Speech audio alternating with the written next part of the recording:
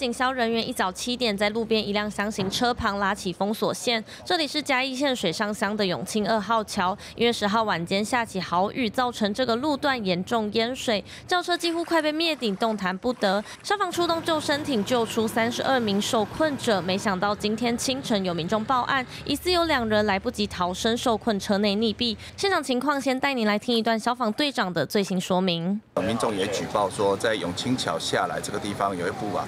这个受困的这个车子里面疑似有人员在里面啊，那经这个昨天受困的相关车主来取物的时候啊。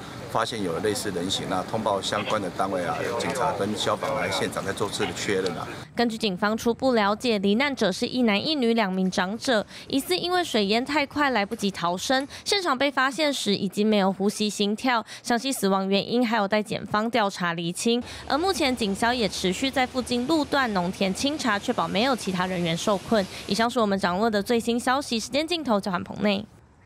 立刻下载“静新闻 ”App，一手掌握新闻时事，尽善尽美，尽好新闻。